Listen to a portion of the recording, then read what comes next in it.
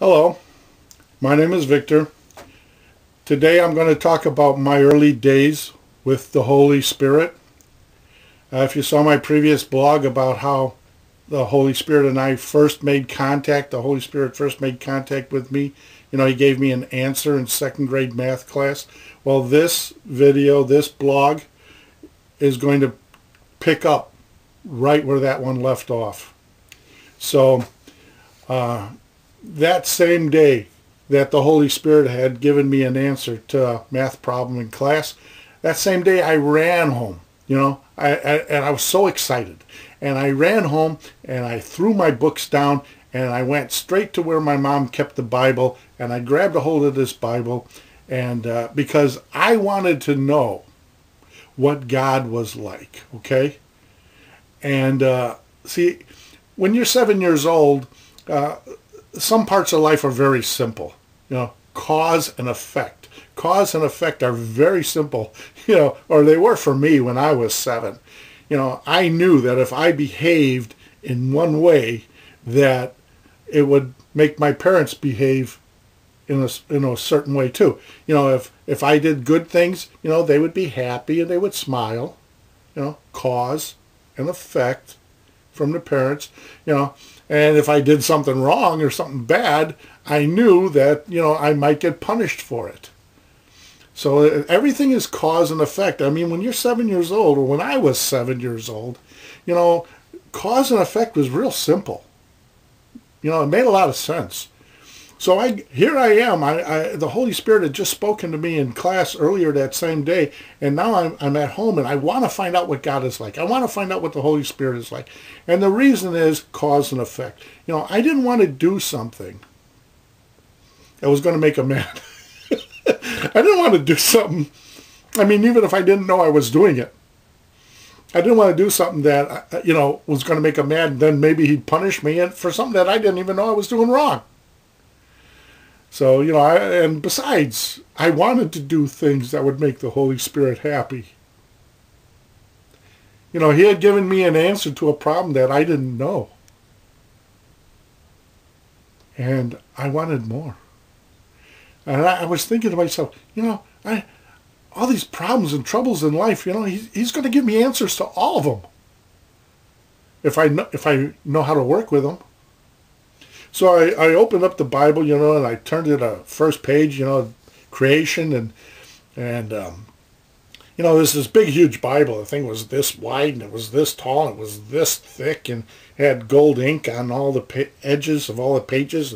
Big, heavy cover, you know, and, and boom, you know, and open it up and you find creation. And inside this Bible were these most wonderful illustrations from the very early days of the church. You know, these monks that, that, that they, they would, you know, days and weeks and months and who knows how long, you know, in the freezing of winter and in the blistering of summer, they would go and they would take their quills and they would draw these elaborate illustrations, you know, that captured the context of, you know, what the story was, you know, to help people like me visualize you know what the story is all about. I'm so, so so uh, you know I opened the page one, the creation, and I'm starting to read, and I'm guessing the book was a King James Bible. That's what I'm guessing. I don't really know. We don't have it. It's been gone for decades and decades, and I'm really sorry because you don't find those illustrated Bibles like that anymore, or I don't anyway. I, so um, anyway, um, I'm reading, and I think it's a King James Bible because the prose, the style of writing is like, what is this? What language is this? I don't, is this Latin? I don't know. Sure doesn't seem to be English like what I'm learning in school.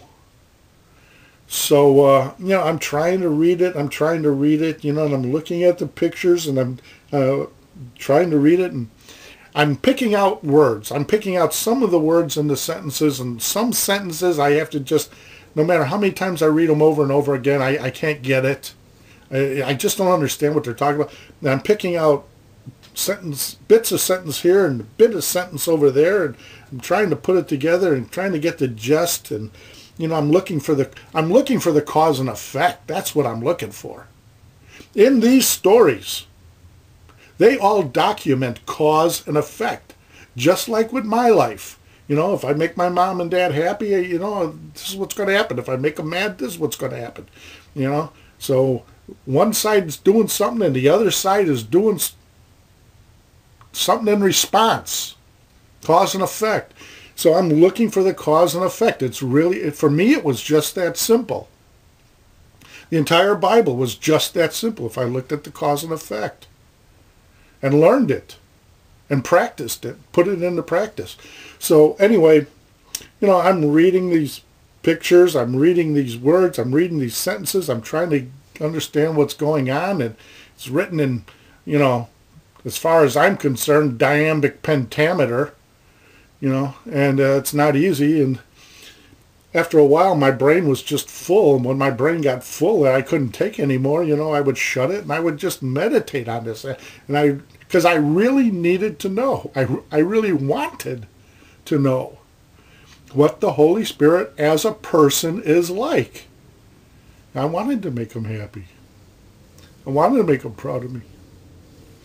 Anyway. Anyway, so now um, my brain is full of all this stuff. And I'm meditating on it. I'm meditating on it as hard as I can. I'm meditating on morning, noon, and night.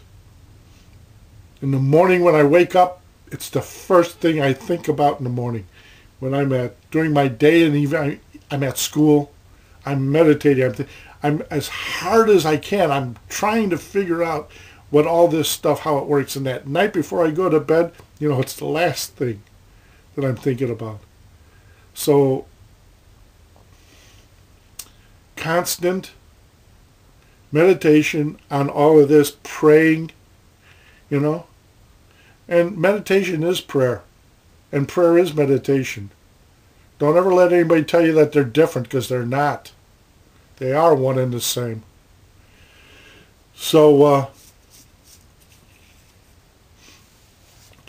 that's after days and weeks had gone by, something staggering happened. Absolutely staggering.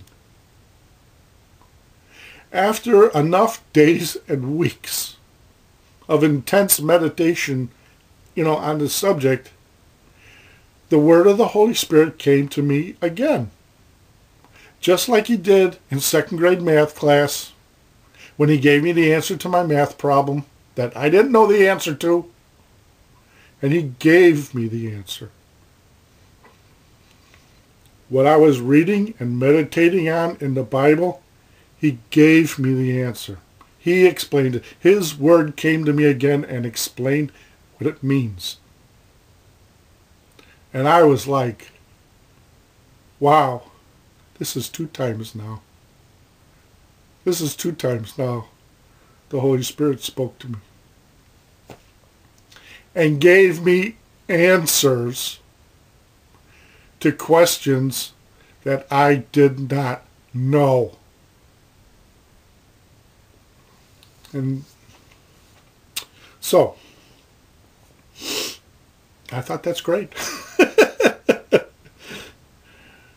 and then I grabbed my Bible, and now that I knew a, a little bit, you know, usually he answers me in two or three words. Seriously. No matter how complicated my question is, no matter how big my question is, usually he speaks to me, his answers are two or three words. That has never changed. After 53 years, it's never changed. It's still the same. Occasionally, he'll give me an answer with four words. but usually it's just two or three words, and that's all he needs. That's all he needs to answer my questions. And the answer is so simple. I'm like, wow, why didn't I think of that? Because earthly knowledge and God's knowledge are not the same. They are not the same. God's thinking is as high above man's thinking as the heaven is above the earth. And as you do what I'm talking about right now, and you start doing it as soon as this video is over, as soon as this blog is over, if you start doing, you know, grab your Bible and you start meditating on it and you, you flip it open to a page that sticks to your finger. And for those of you who don't know me, other people do know me. For those of you who don't know me, you take your Bible, I use the New American Bible, NAB. That's the one I use. You can use whatever you want. God works through all things. He can even talk to you through a television commercial, and we'll talk about that later. Um, you know, he can use everything. and that's a sign.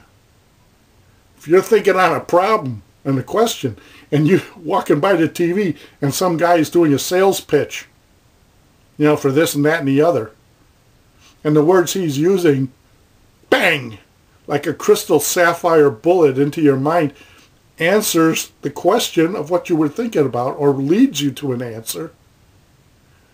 That's what I'm talking about. And it probably has happened to a lot of people that are watching this blog right now, and they just haven't put two and two together.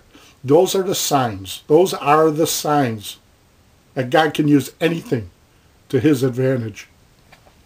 So I'm taking the Bible, those of you who know me, and I'm closing my eyes. I'm asking God, what do you want me to learn? What do you want to teach me? You know, and I'm running my fingers. I hope you can see this. I'm running my fingers on the page till one sticks to my finger. And when you do it, I want you to test me on this. Test what I'm saying. If I'm lying to you, don't ever come back to my blog again. It's waste, of your time because I'm a liar, right?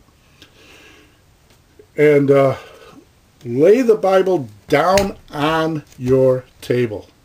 Lay it flat. Ask God, what do you want me to learn? What do you want to teach me? And run your fingers till a page sticks to your finger. How does a page, how does a page stick to a round fingertip? I've been doing this since I was seven years old.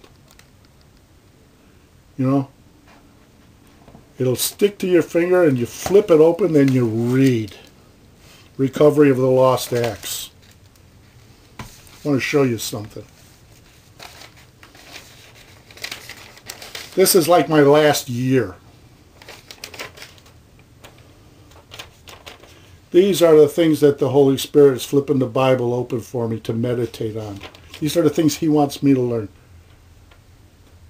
Recovery of the Lost Acts 100 5, 10, 15, 20, 25, 28. 128 times in the last year. Well, 129 times now.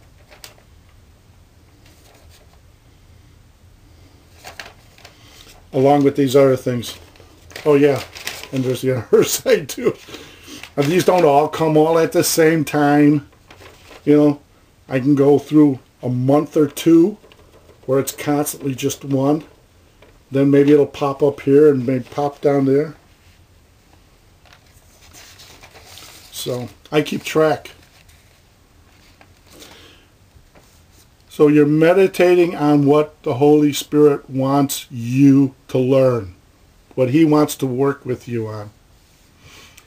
And it wasn't until, and you keep meditating on it until you get an answer. And I don't care if it takes two months, six months, or five years, or 13 years. Just maintain persistence in your meditation and your prayer, and eventually you will get an answer. And when you get the answer, you'll know it was from the Holy Spirit.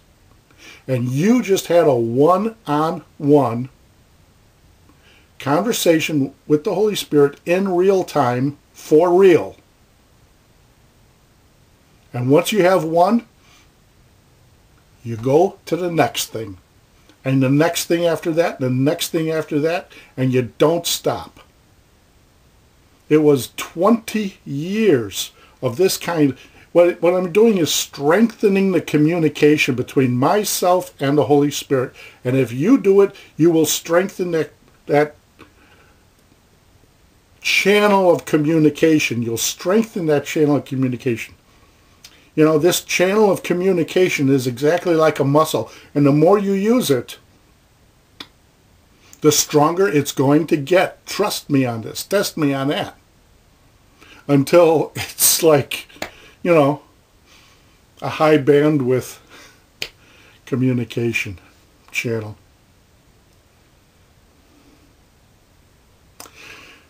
So, you know, in my very, very early days, something was happening to me that was so subliminal and so sublime. The Holy Spirit is so subliminal and so sublime. And it, it was so subliminal, so sublime that even decades and decades and decades later, you know, I'm still in awe and amazement. You know, I, I thought, you know, at the time when I was a kid, you know, I thought that, you know, I'm studying these words and I'm meditating on it because I really wanted to know the answers. I'm thinking about the pictures and I wanted to learn the cause and the effect and, and I couldn't figure it out and I was working on it. You know, it wasn't that I was studying the Bible and it wasn't that I was studying the pictures and it wasn't that I was trying to, uh, you know, work the two puzzle pieces together the really astonishing thing, the really subliminal thing that I was doing was that I was being constant in my prayers before the Lord. And I didn't even realize I was doing it. I didn't even realize that I was being consistent in my prayers before the Lord because it's only when you have this consistent, the persistence, the persistence of constant prayer before the Lord. You know, it's like a big, big bucket, a big bucket. I don't know, thousand gallons maybe, big bucket. You gotta fill that bucket up. You gotta fill that bucket up to the top. When that bucket is full, with the consistency of your prayers,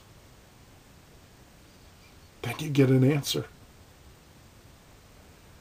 And God is so sublime and so subliminal. This never changes. These still are the Bible days. Oh, oh, the Bible days were, you know, back when Jesus lived. These still are the Bible days. Jesus is still alive. God never changes. What was still is. The Bible days will not be over until after Judgment Day is completely finished. Then we'll enter into a new age. But for right now, what was documented in the Bible, God's cause and effect with all of his people, still is. Nothing has changed. People think it's changed. People think wrong. Nothing has changed. What was still is. Anyway, that's my part one on my early days with the Holy Spirit. And it's all about strengthening the line of communication, the channel of communication between ourselves and the Holy Spirit. This is how you do it. This is how I did it. This is how everybody has done it. God doesn't change. People meditate in the past. People meditate today. People meditate tomorrow. It never changes. God responds. When the bucket is full of consistent, persistent prayer, he'll answer. And you will hear his voice inside of you. Because our soul, that's where the Holy Spirit is. We can't leave without our soul, and we can't leave without taking the Holy Spirit with us. He's always there. We just got to open the line of communication. And I know this works. And if you do what I'm telling back, what I'm documenting, what I'm testifying, what I'm witnessing to, if you do it, it's going to happen because God doesn't change. What was still is. So this is all about how I wanted to strengthen the channel of communications between myself and the Holy Spirit, you know. And it worked. So, this is my life with the Holy Spirit. Jesus is Lord. Good news. Jesus is Lord. And God bless all of us. All of us. I hope this video is a blessing to you too. Amen.